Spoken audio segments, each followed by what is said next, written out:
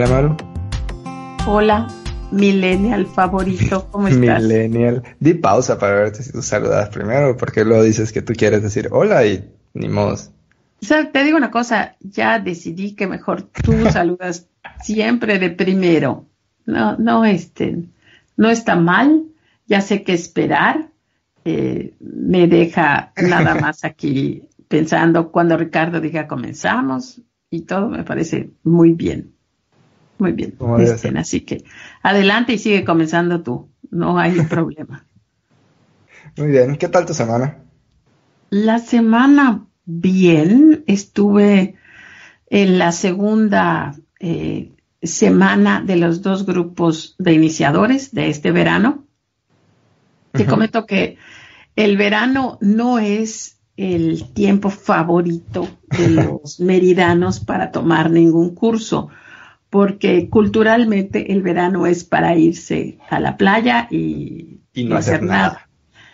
Pero bueno, ya... Porque eso es interesante, ¿no? En muchas partes del mundo el, verano es la época de, proyectos personales para que vayas a probar nuevas cosas, entres a clases de pintura o de baile o algo así.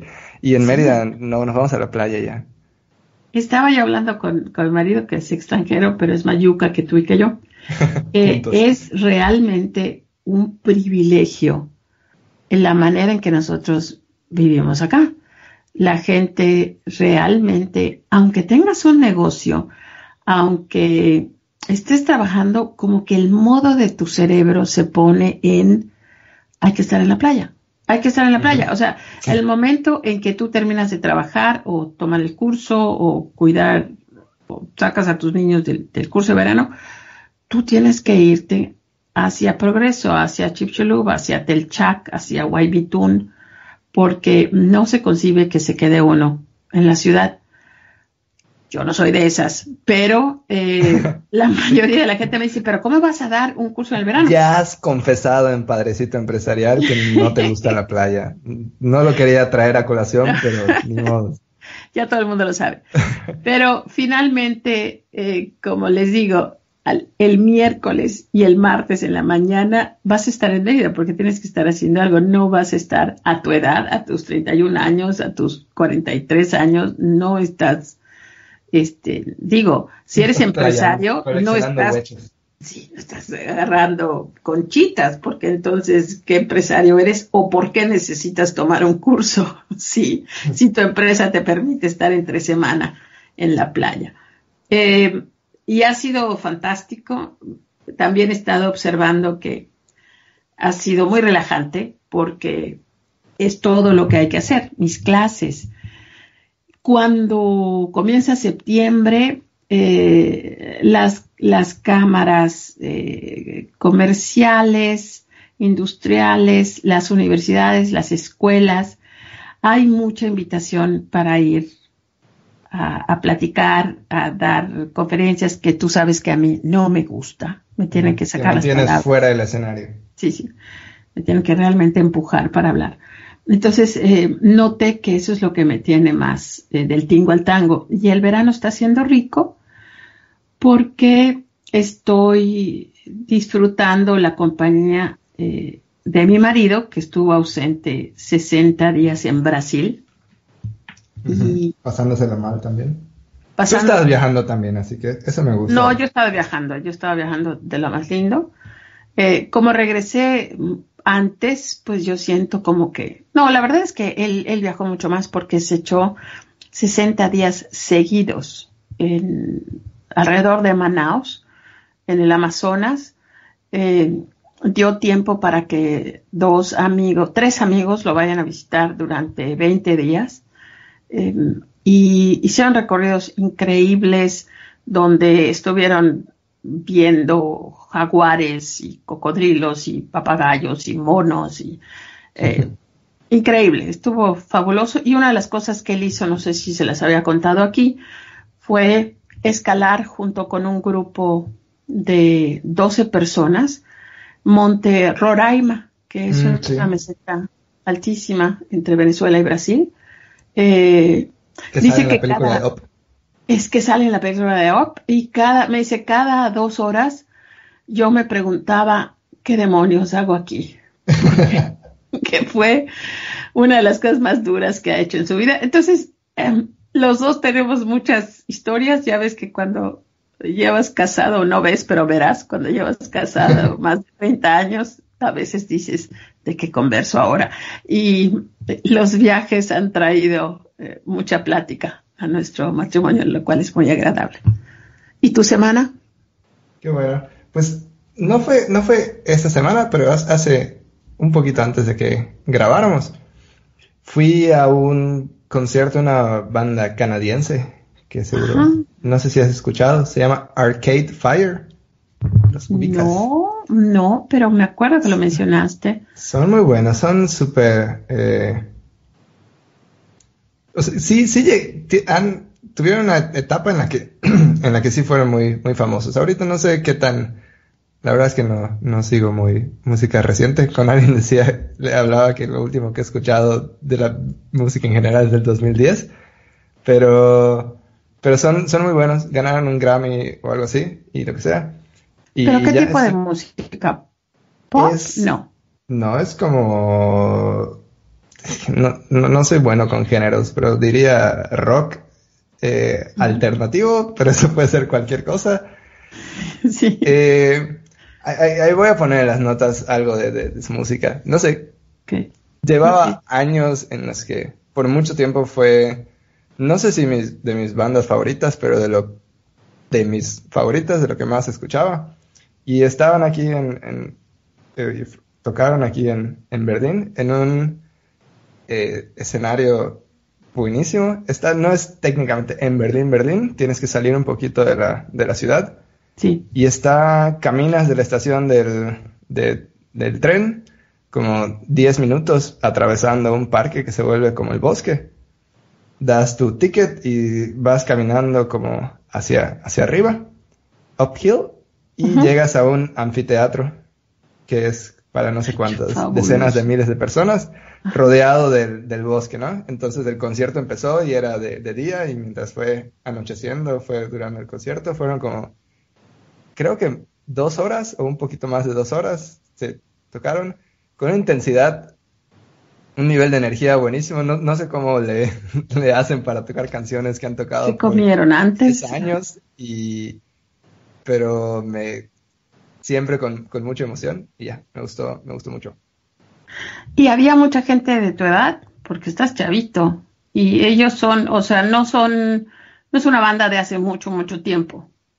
No, pero como fueron por muchos años, fueron como de las personas que escribían sobre música, los ponían como sus, de sus bandas favoritas, ¿no? Entonces, me, me gustó mucho igual el, no, yo en lo personal no soy muy de ir a, a, conciertos. A veces luego siento el que está al lado de ti está gritando la canción y no puedes escuchar bien a la banda que está. en eso nos parecemos.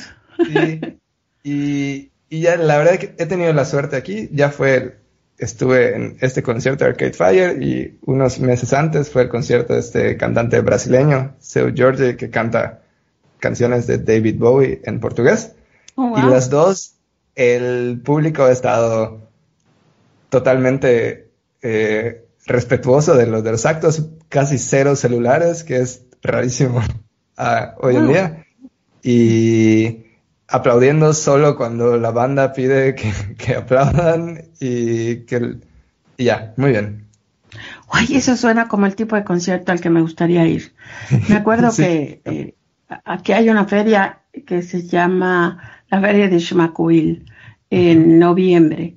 Es una feria ganadera y siempre traen cantantes. A mí no soy muy de música, la verdad, tampoco soy de mucho concierto y mucho menos a la hora que comienzan estos espectáculos, que es una o dos de la mañana. Pero hace muchos años, cuando no sé qué estaba posesionada de mí, a mí me gustaba Ricardo Arjona, me gustaban sus canciones, ya no.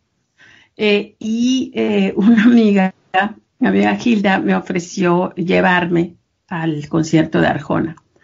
Y me acuerdo que, bueno, esperar la hora, sentarte, las sillas súper incómodas, eh, pegaditas, eh, sobre un tinglado que no se me hacía muy seguro, ok, no pasa nada. Y comienza el espectáculo y realmente no escuchas nada más que las voces de los que están alrededor de ti. La primera que cantaba voz en cuello era mi amiga Gilda. Y yo pensaba, no, a esto vine. o sea, vine, vine a oír al, espectáculo. Y fue una desilusión tremenda y juré jamás regresar a Schmackville y nunca lo he hecho. Hace año y medio eh, volví a caer, pero ahora sí fue la última. Eh, se anunció que venía Mark Anthony, que es un cantante que me gusta mucho, me encanta cómo canta. Y fue exactamente lo mismo. Y el espectáculo fue aquí en el Coliseo eh, de Yucatán. Y no solamente eh, todo el mundo estaba cantando, sino que él comenzaba dos acordes de la canción y luego viraba el micrófono hacia el público y preguntaba, ¿se la saben? Y el público cantando. Bueno, no, no, no, no te puedo explicar el nivel de furia que yo sentía porque además creo que ese boleto sí costó poco más de 200 dólares. Eh, y yo pensaba, por 200 dólares en Nueva York, siento a Barbara Streisand en mis piernas y la oigo cantar. Yo sí, aquí estoy. Entonces, ya, jamás en la vida. Eh, cuando menos en, en Mérida no voy a conciertos. A la gente le gusta demasiado cantar, no sé. Sí, y creo que somos medio particulares en nuestro. Sí lo somos. pero, pero a mí, a mí me encantó. Solo un, solo en este concierto de Arcade Fire, por una canción, un, como era, estábamos todos parados, una persona apareció al lado de mí y estaba cantando, gritando y respiré profundo y me aguanté y pero la música se puso muy emocionante y empezó a saltar y se fue corriendo lo más cerca del escenario que, que pudo, así que se alejó de mí y ya sí somos particulares. ¿Ves? Está siempre, a veces me pregunto, no siempre, pero a veces me pregunto, ¿cuál es el punto de encuentro? ¿En qué nos parecemos? ¿Cómo es que estamos trabajando también este chico tan joven eh, y yo? Eh, pero yo creo que eso es lo que tenemos en común, que no nos gusta que nos canten al oído. Creo, sí, sí. Pero bueno. Eso dice mucho de una persona, pero bueno. Y me, estabas platicando que ahorita tienes eh, en estos nuevos grupos de, verano. Sí. ¿Cómo se portan? Bien, fíjate que he notado varios cambios. Yo comencé a hacer esto en el 2009 y ha cambiado muchísimo el perfil de, los chicos, eh, de los estudiantes, que antes precisamente no eran tan chicos, antes era gente bueno, yo la, yo la veía mayor. También tengo que ver, tengo que admitir una cosa. Yo he envejecido, entonces obviamente este, los alumnos que quieren aprender esto sí están viniendo más jovencitos. Mucho, em, hay, hay, mucha gente del ramo de la construcción y también, pero en general, ¿no? Que venden materiales para construcción, los fabrican ingenieros, arquitectos y eh, muchos, siempre tengo muchos salones de belleza, lo cual me encanta, y diferentes giros. Casi siempre me ha tocado alguien que tenga una escuela. Y ha habido muchas diseñadoras de moda, ya sea de ropa o de joyería, también en los cursos. Pero lo que, lo que sí está pasando en este curso 35 y 36 es que el promedio de edad es de 30 años, lo cual es jovencísimo, muy joven. Porque una de las cosas que yo pido es que tengan cuando menos dos años en el negocio y que tengan un par de empleados. Entonces, eh, por ejemplo, ahí están los hermanos Ortiz, que no tienen ni 30 años y hace seis que tienen una universidad con diferentes, creo que tienen em, tres eh, ubicaciones en diferentes partes del, estado y más de dos mil estudiantes. Entonces, sí, hablamos hace, hace poco de, ellos, ¿no? Sí, sí, sí. Entonces, sí es, es como que los perfiles están cambiando. Y a la hora de empezar a discutir las tareas, sí es un poco difícil para mí porque, primero, Ricardo, te platico, la primera clase de los 12 módulos de iniciadores, para mí es la más difícil de dar. La gente llega con mucha expectativa. Vine acá porque tengo problemas con mi gente, ese es el problema número uno. O no sé a dónde se está yendo el dinero, o mis clientes me están viendo la cara. Y de lo primero que yo hablo en las tres primeras clases es de ti, de tu persona, de tus creencias, de lo que quieres, a dónde vas. Y entonces todo el mundo se me queda viendo con cara de, por eso, esa es una de las razones por las que yo no cobro hasta que pasen la primera clase. Porque pienso que psicológicamente, si tú me pagas la inscripción de la clase y luego te sientas y yo empiezo a hablar de tienes que tomar absoluta responsabilidad de todo, las cosas se van a poner muy mal antes de que se pongan muy bien. Tienes que acostumbrarte a sentirte incómodo y vamos a hablar un poco de ti, cómo quieres ser percibido, qué es lo que estás buscando. Yo creo que la gente se sentiría engañada eh, si me dice, oye, ya te pagué el equivalente a mil dólares por esta sesión, estas sesiones, y tú me estás preguntando qué quería yo ser de niño, o sea, no me vengas con esa jalada. Entonces, eh, sin embargo, sí te puedo decir que el 95% de la gente que toma la primera clase, pues decide quedarse. Si hay uno o dos que dicen, no, no es esto lo que estoy buscando. ¿Tienes una lista de todas las personas que han asistido? Tengo, sí, pero te están en, Excel, en Excel separados de, gente. Y por ejemplo, ahorita tengo un estudiante que está tomando el curso por tercera vez, pero sí, sí tengo eh, listas de gentes. Regularmente mando cartas a grupos, eh, qué están haciendo, qué ha pasado, qué quieren comentar.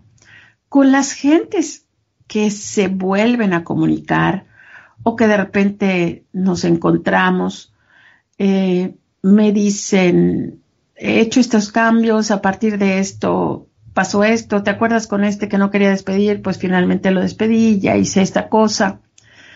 Hay un, hay un fenómeno muy interesante, pero es un fenómeno humano, Ricardo. Cuando tú tienes problemas, cuando llegas con problemas, llegas comunicándolos llegas diciendo, me está pasando esto, no entiendo esto, eso está terrible, es que esto no va a cambiar, ¿qué hago? Pero cuando resuelves los problemas, eh, no tienes la necesidad de comunicar. Entonces, me pasa mucho que de repente encuentro, estoy en Costco y me encuentro a un estudiante.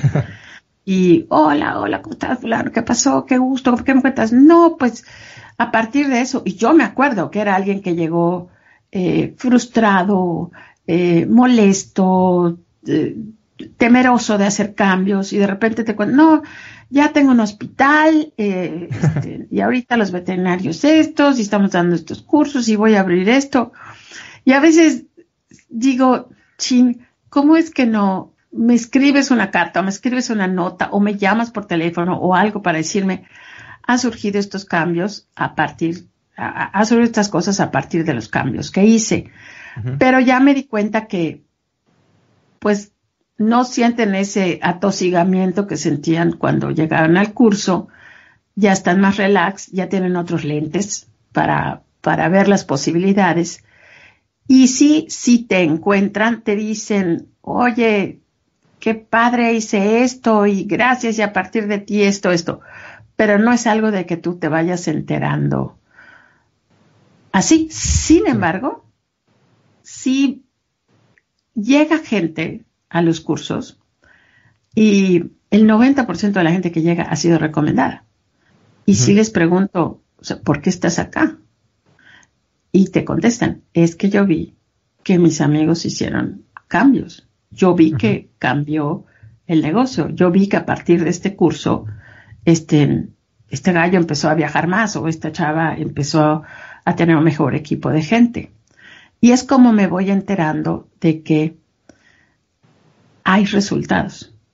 Aunque no el 100% de la gente regrese a ti para decirte, oye, estamos haciendo esto. Sí. Pero, ¿tú tomaste iniciadores hace cuánto? Hace, todavía estaba en la universidad, así que... Imagínate. No sé, cinco años. Qué cosas, ¿Qué cosas cambiaste a partir de eso? ¿Qué cosas cambiaron en, en Cairo?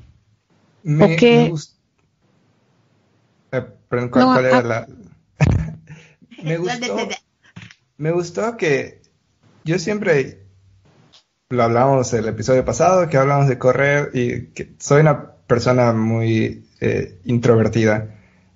Y el estar en, iniciadores me mostró un poco la, importancia de compartir con el equipo todo ese proceso de, planeación, del por qué se hacen las, cosas. A veces lo mi tendencia natural era pensar, o sea, es algo que se va a hacer la decisión y, ya. Y el, el, estar viendo, el escuchar, no, no solo lo que, lo que hablabas tú como parte del curso, sino también lo que iban diciendo las otras personas que estaban tomando el curso. Lo satisfactorio que es involucrar al, al equipo de trabajo en este proceso. No solo porque, o sea, al final lo más probable es que tú tomes la decisión, ¿no? Sí hay, hay otros puntos en los que pueden estar participando tal vez más, de manera más activa, pero el que las personas de tu equipo en, no solo escuchen el mensaje de las, lo que se está haciendo, sino que entiendan el, el por qué y escuchen la historia de por qué se están haciendo eh, algunas decisiones que tal vez se tomaron años antes de que ellos entraran a, la, a la empresa. Creo que es muy satisfactorio, ¿no? Al final lo que en una muy necesidad muy básica como personas, lo que nos une son las historias que, que contamos, ¿no?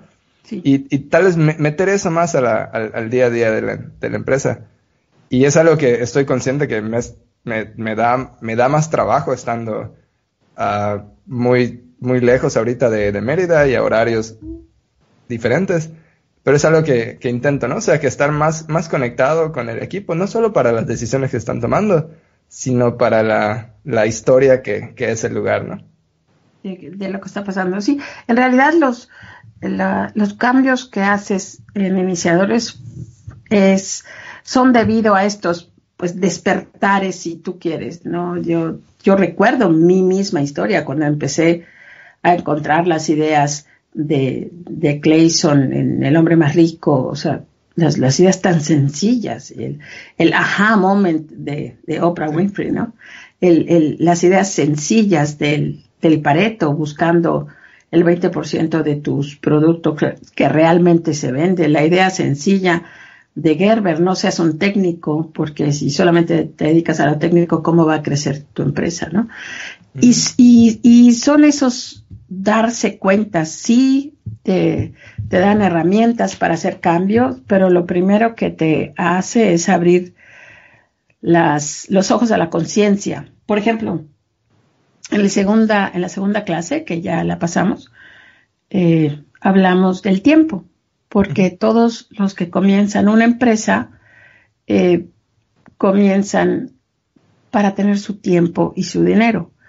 Y si tú sigues el rumbo de un eh, microempresario normal, te das, o sea, normal con las luchas de que tú tienes que ver de dónde sacas el dinero para la nómina, para la renta, de que no duermes, de que vas, de que vienes, de que los clientes te están pidiendo cosas que tú no terminas a tiempo o no terminas como debes de ser. Si pasas por todas estas frustraciones normales eh, y te tomaras un minuto, te dieras cuenta de que no tienes ni el tiempo ni ese dinero con el que soñabas. Entonces, es por eso que es una de las primeras cosas que hacemos, ¿no?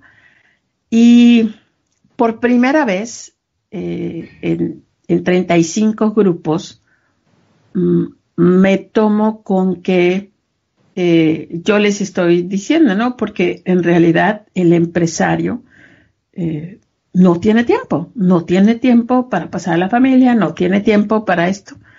Y me encuentro con, que en el grupo 35, eh, tengo 35, 36 ahora. 35. 35.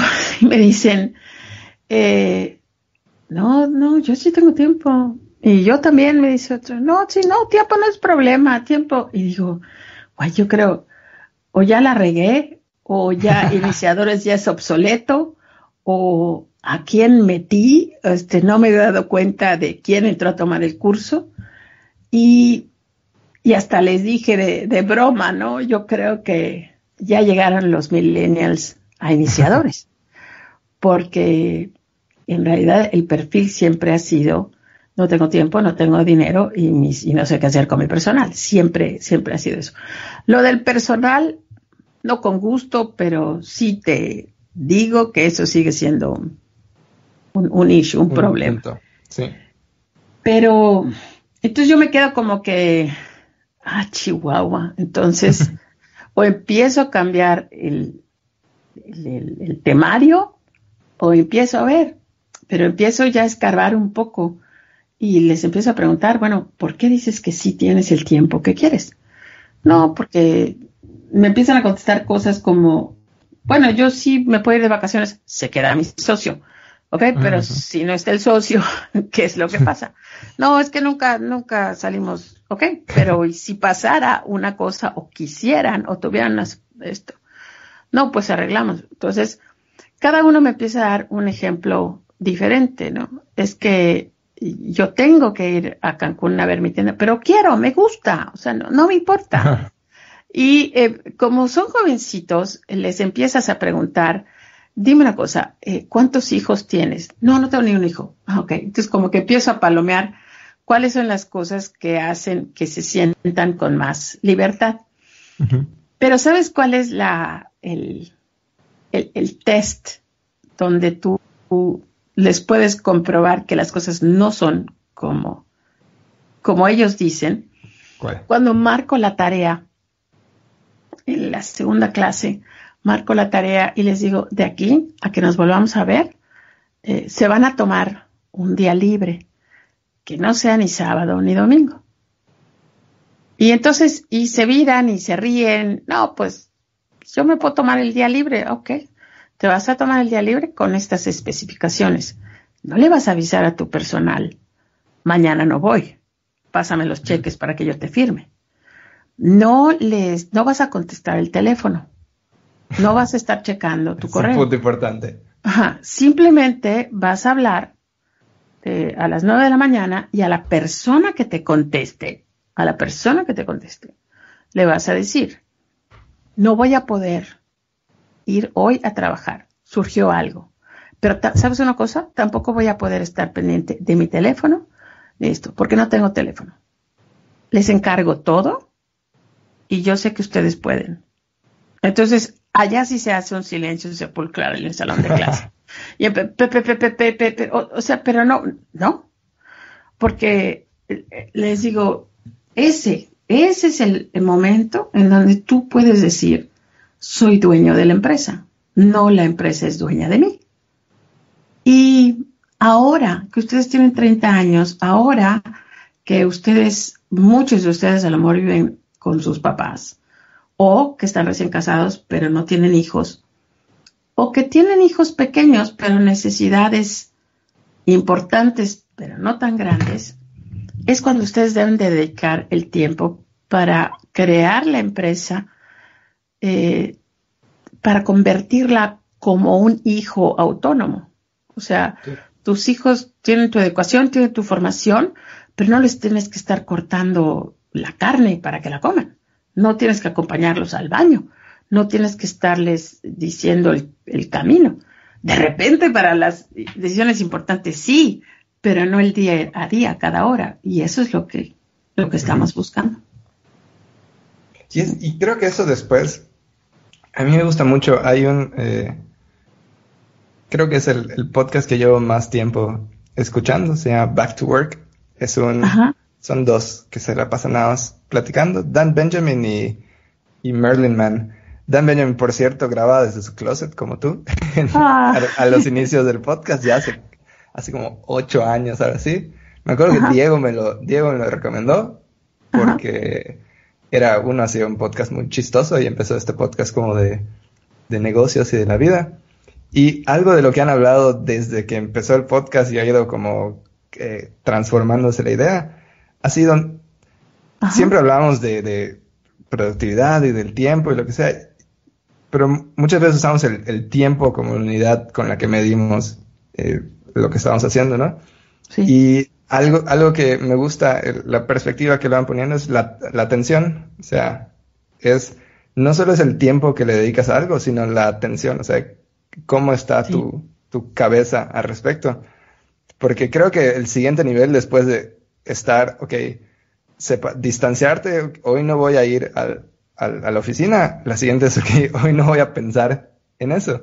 Sí. Y creo que cuando se logra hacer eso, no es solo, no es solo de desconectarte, sino también dar espacio para que estar pensando en, en otras situaciones del, que podrían ayudar para que el, el negocio vaya ah, mejorando o tú en lo personal también.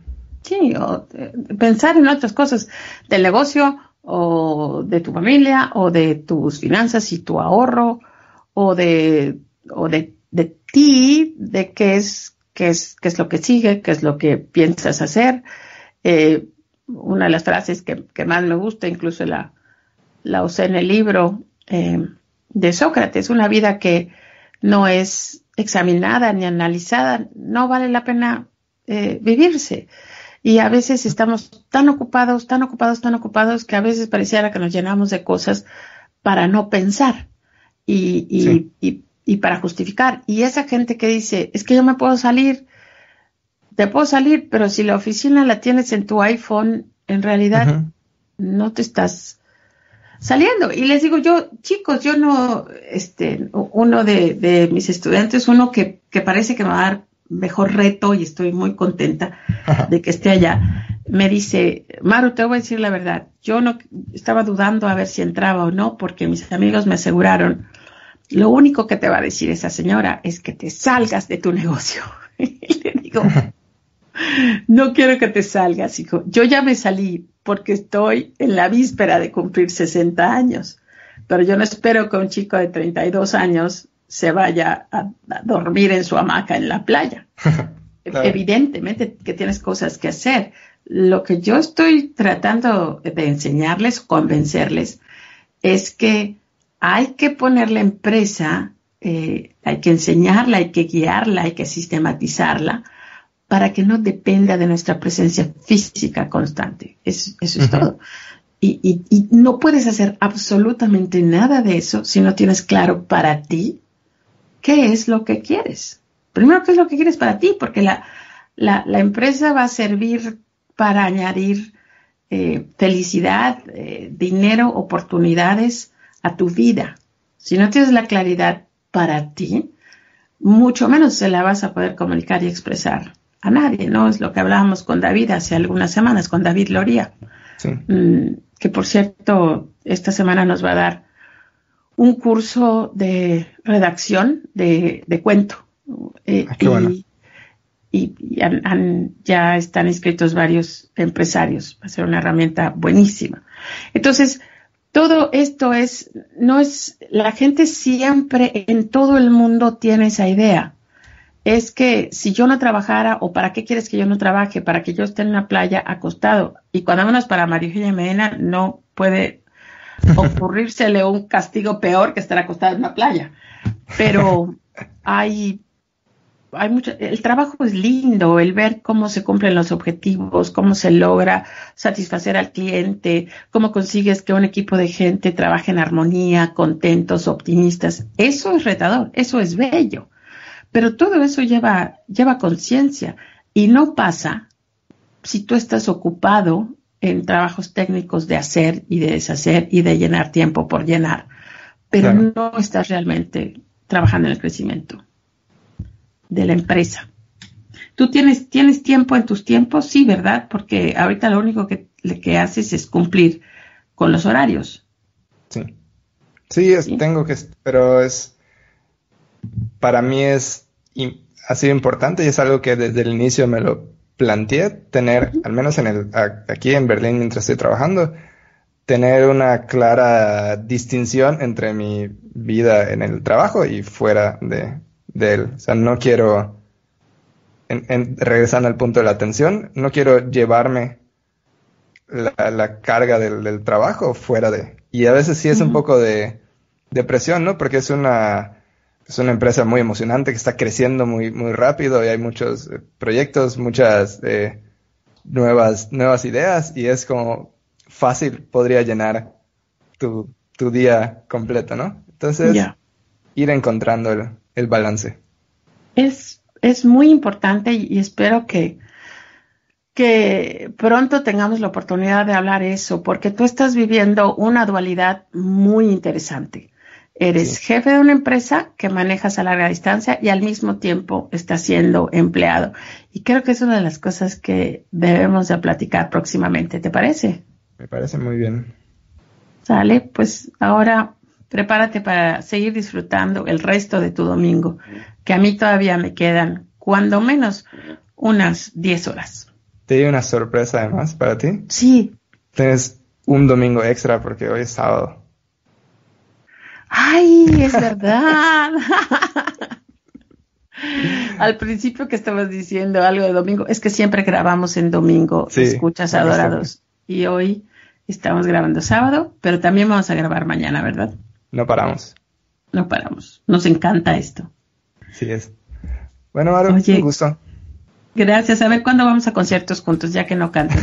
Dale, pero callados. Nos hablamos pronto.